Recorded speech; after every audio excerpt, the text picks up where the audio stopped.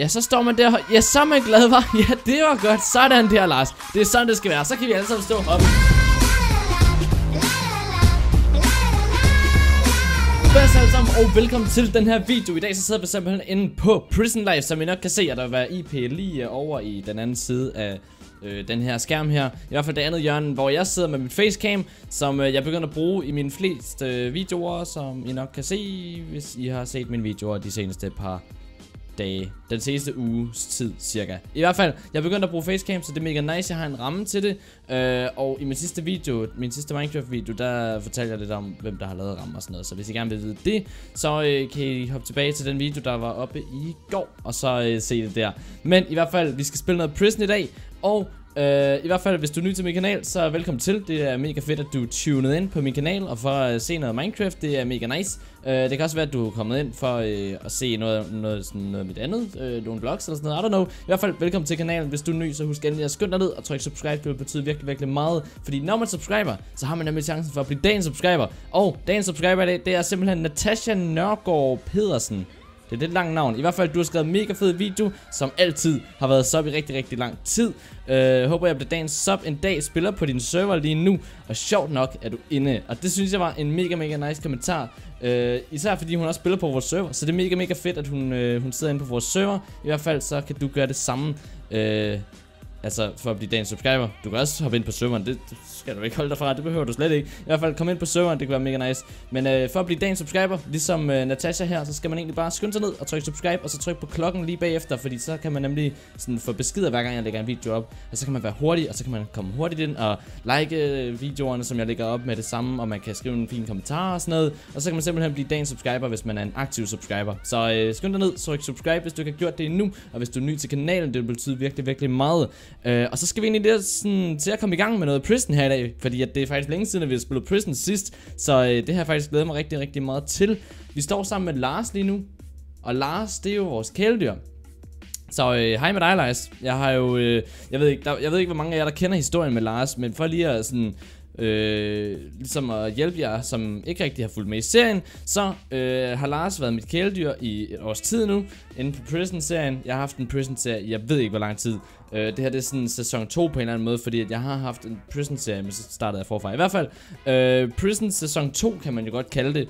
Øh, der har jeg haft, øh, jeg har ikke haft Lars med helt fra starten. I min sæson 1, der havde jeg Lars, men øh, til sidst så blev han simpelthen indlagt. Ikke også, Lars? Lars kan ikke svares, fordi at han er lidt øhm, mundlam. I hvert fald, øhm, Lars han har været indlagt på et hospital, og han er her for nylig kommet tilbage, og derfor så øh, har vi simpelthen givet ham en lille rundvisning i fængslet, og vi har simpelthen givet ham en rundvisning i vores egen celle her. Vores lille luksus, eller ikke en lille, vores, vores store luksuscelle faktisk. Men han har simpelthen fået en, øh, en rundtur, ikke også Lars? Du kan stadig ikke snakke, så øh, det lader vi være med. Men i hvert fald, han har et lille rum herinde, hvor han godt kan lide at sove på gulvtæppet og sådan noget. Så det er mega nice. Ikke? Nu skal jeg nok lade være med at spørge dig. Jeg ved godt, at du er lidt øh, træt og så videre, og du ikke lige har lyst til at snakke. Du, jeg synes også, du hænder lidt med næbet, så det... Ja, jeg, jeg går bare ud. Det er fint. I hvert fald, så... Øh, så tænker jeg lidt, fordi det er jo lang tid siden, at vi har spillet herinde, og jeg har lovet jer, jer der kigger med, jer der følger med i Prison-serien, jer der ved, at jeg har lovet jer det her, jeg har lovet jer at lave en prank på Boost, hvor at jeg øh, scripter en prank. Og øh, det er lang tid siden, jeg har lovet den. Og øh, jeg ved ikke helt, om øh, den er sådan faldet lidt hen, om, øh, om jeg stadigvæk skulle lave den, fordi det er lang tid siden, at Boost har pranket os. Og øh, jeg har jo været på ferie, og som I nok ved, og jeg har lavet vlogs, og jeg, øh, vi, vi har åbnet Skylife, så der, der er sindssygt mange ting, der er sket siden, sådan, og derfor har jeg ikke rigtig kunnet lave den her prank på Boost i, øh, i den tid. Eller det kunne jeg godt, men jeg har ikke rigtig haft, øh, haft lysten til at skulle prank ham. Øh, og jeg har mere haft lyst til at skulle optage alt muligt andet. Så, vi sidder og spiller noget Prison. Det er faktisk rigtig rart at være tilbage. Men øh, jeg ved ikke helt, om det er i den her episode, hvor vi skal prank boost med øh, den her prank her. I hvert fald så ved jeg ikke, om der stadig er stemning for det. Så øh, I må gerne skrive ned i kommentaren, øh, om der stadig er stemning for, at jeg skal pranke Boostmeister. Altså, hvis I ikke kender Boostmeister, så er Boostmeister vores admin. Han bor lige herover. Hov, nu har jeg fly til. Nå, det er fordi, jeg er vant til Skydive, sorry. jeg skal nok slå det fra. Rolig nu. Der er ikke noget snyd herinde i prison. Det gør man ikke. Det er jo ikke OP prison. Det har vi også, by the way. Det er ikke OP prison, det er det normal prison. Og øh, Boost, han bor simpelthen herinde. Det her, det er Boost sætte. Skal vi ikke lige se, om han har nogle donationer, som vi lige kan snuppe? Han har godt nok mange. Han er ikke sådan en, der tjekker sine donationer. Hvad i alverden er det for noget? Puha. Dumme boostmaster. Nå, i hvert fald, vi skal have pranket ham på et tidspunkt, men jeg tænker ikke, det bliver i den her video. Jeg tror, at det skal blive i en anden video. Men det kommer, det kommer an på, om der er stemning for det. Jeg ved ikke, om der er stemning for det stadigvæk, om det er for lang tid siden til, at det er stadig er sådan noget, jeg gider at se. Så hvis det er noget, jeg gider at se, så gå ned og skriv en kommentar med det. Det vil betyde virkelig, virkelig meget. Jeg kan også lave en afstemning med det. Jeg kunne lave en afstemning med det. Lad os lave en afstemning. Der er sådan en... Øh det er så i, jeg kan ikke huske hvilket hjørne. Det modsatte hjørne er den, hvor jeg sidder lige nu med det her ansigt her. Der er en øh, ting, som I kan trykke på Og så kan I afstemme, om øh, der stadig er stemning for det. Så øh, der kan I simpelthen bare stemme på det. Og det kan man gøre selv, om man er på telefon Så det er super nemt øhm, Så ja, det må I gerne stemme om. Men Lars, jeg synes Ja, så står man der. Ja, så er man glad, var. Ja, det var godt. Sådan der, Lars. Det er sådan, det skal være. Så kan vi alle sammen stå og hoppe. Wow, så hopper vi sammen med Lars. Sådan der. Sådan, Lars. Vi står bare og hopper. Okay, Lars, jeg gider ikke hoppe mere. Jeg gider ikke mere. Jeg gider ikke mere. Jeg øh, løber tilbage til cellen. Og så tror jeg, at vi lige hurtigt tager vores, øh, vores egen gaver. Fordi vi har faktisk nogen selv, er jeg ret sikker på, Vanille. Ja, ja. Oj, vi har en golden chestplate. Er de ikke mega rare? Nej, vi kan jo godt få guld. Nå, okay, der er bare en, der har lavet en tierspil ud af guld. Fair nok. Hvorfor øh, er... Uh, stakker det her ikke? Nå, det var godt nok mærkeligt. Well, vi har nogle forskellige ting her i hvert fald. Og jeg ved ikke helt, om jeg magter... Uh, vi har også noget... vi har hvidt armor! Åh, oh, hvor nice! Det havde vi også tidligere. Jeg tror, jeg mistede det, though. Det var ikke så godt. Men øh, vi har hvidt armor, så det er meget godt. Vi gemmer det lige hurtigt alt sammen samlet, sådan, så det er lidt nemmere. Det er jo, det er jo meget nemmere. Så, øh, så det er meget nice. Men øh, hvor blev Lars af? Der var du jo. Sådan der. Perfekt. Vi er oppe på 11 millioner.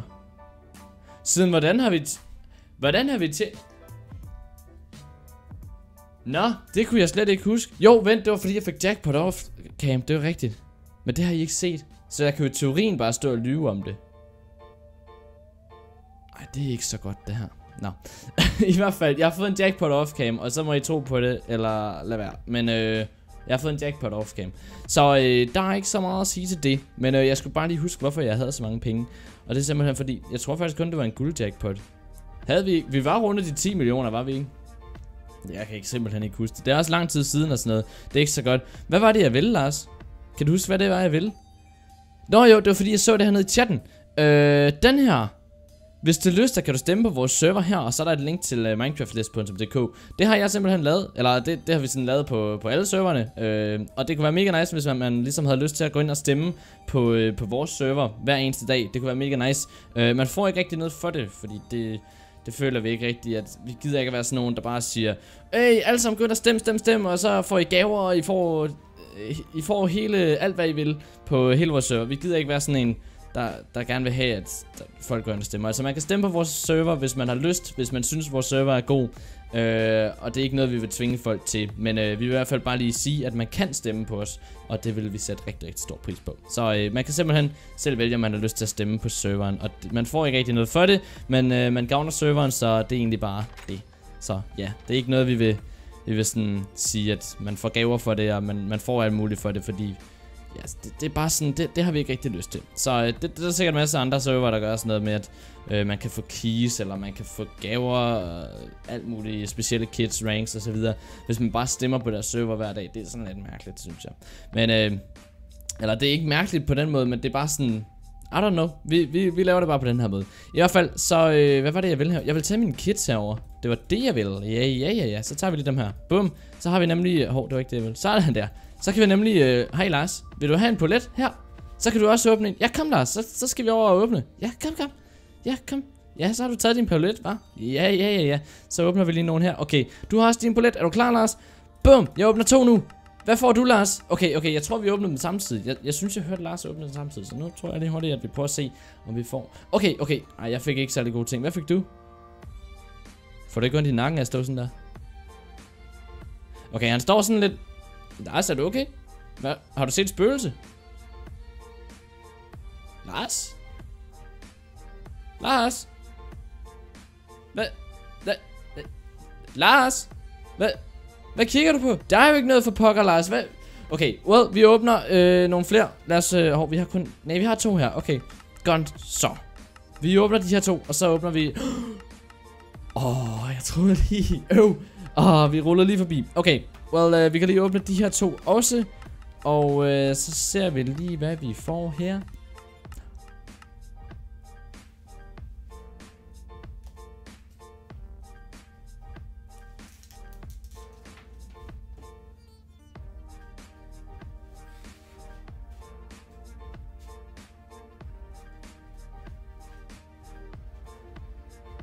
Hvordan kan det ske igen? Vi er på 13 millioner, guys. 13 millioner dollars på prison.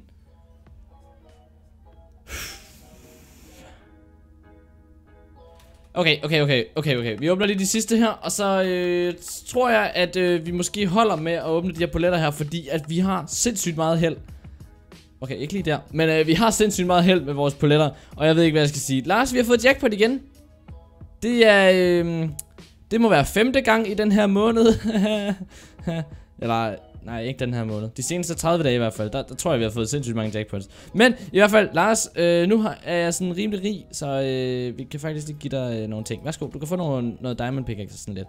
Ja, vi deler bare ud af det hele. Sådan der. Bum, der kan lige ligge noget brød der. Der er ikke rigtig nogen online lige nu. Klokken er også sådan... Jeg ved ikke, jeg tror faktisk folk de startede i skole igen. Jeg ved ikke, jeg starter først på mandag, så det er sådan lidt... Ja, det var nice nok. Det er jo nice nok. Så kan jeg bare sidde herinde helt alene og spille Minecraft, når folk de er i skole. Eller når folk de skal i skole sådan dagen efter.